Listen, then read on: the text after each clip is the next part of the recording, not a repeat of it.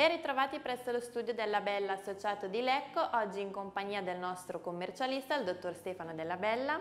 Bentrovati. Insieme per parlare di protezione del patrimonio e in particolare di aspetti societari, dottore. Sì, oggi ho preferito chiarire alcuni aspetti che tratto normalmente con i miei clienti, eh, che sono due aspetti abbastanza semplici, che cos'è una società e come si può sfruttare al pieno le sue potenzialità. Argomento come sempre interessante anche se può sembrare un po' ritrito, ne abbiamo già parlato più volte. È vero, ma preferisco dire un'altra volta magari una cosa che un nostro telespettatore già conosce perché è un bravo commercialista che gliel'ha già detta, piuttosto che tralasciare degli argomenti che sono comunque alla base di una buona attività imprenditoriale e della vita in genere.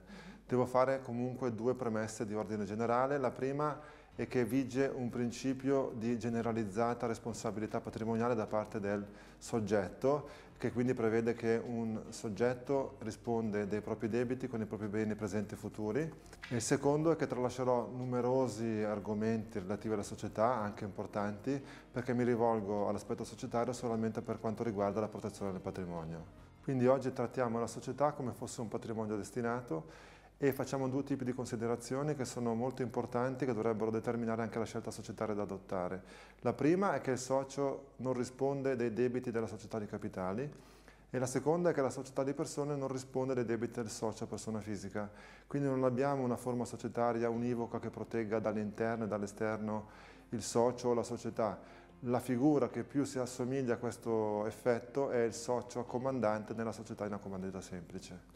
Quindi ripetiamo, il socio non risponde dei debiti della società di capitali e la società di persone non risponde dei debiti del socio. Ce lo spiega meglio? Sì, partiamo dalla considerazione della scorsa volta in cui dicevamo che nelle società di capitali è possibile destinare una parte del patrimonio ad uno specifico affare.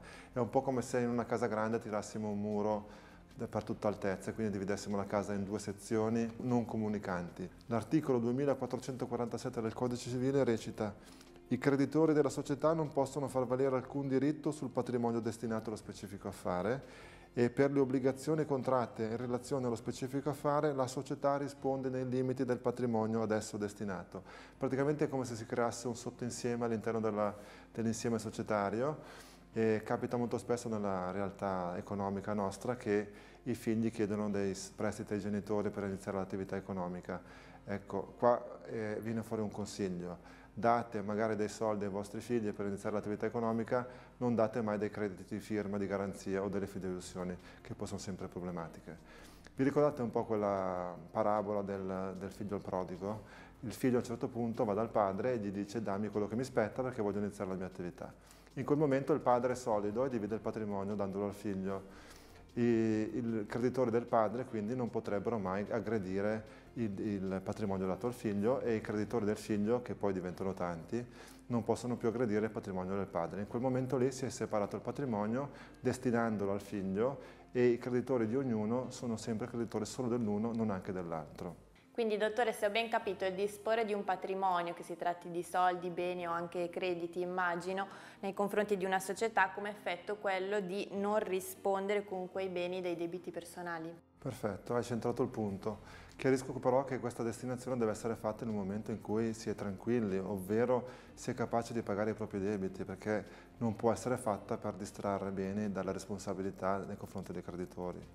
Torniamo all'esempio societario, prendiamo un foglio bianco, idealmente quel foglio bianco è tutto il nostro patrimonio.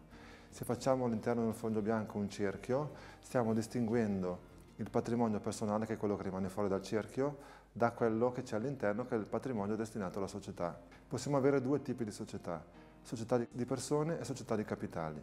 Questo cerchio funziona in maniera diversa, quindi se all'interno abbiamo un'attività rischiosa, che possiamo identificare in un esempio come un vulcano, su questo cerchio noi costruiamo un muro molto alto di modo tale che il rischio interno non esca e non vada a intaccare tutto quello che abbiamo fuori, l'altra parte del foglio bianco. Invece le società di persone sono come una città medievale, abbiamo tesori e cibo all'interno e molta gente che vorrebbe entrare per prenderlo. Noi costruiamo dei muri molto alti di modo tale che le persone che sono fuori non possono entrare a soddisfarsi sulle cose che ci sono all'interno.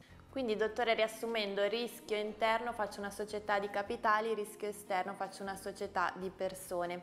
Se i rischi interni mi sono chiari può farci un esempio di rischio esterno invece? Per esempio un classico rischio esterno potrebbe essere il coniuge, che che si trasforma prima in separato e poi in divorziato. Quindi da coniuge diventa creditore. La società di capitali non protegge, la società di persone invece protegge. Tenete conto che in Italia il 50% dei matrimoni finiscono in divorzio, quindi i creditori esterni ce ne sono tanti.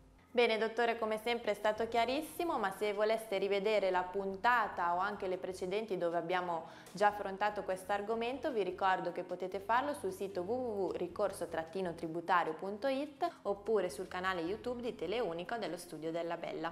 Ringrazio Stefano Della Bella e ci vediamo settimana prossima con Fisco per tutti. Arrivederci, a presto!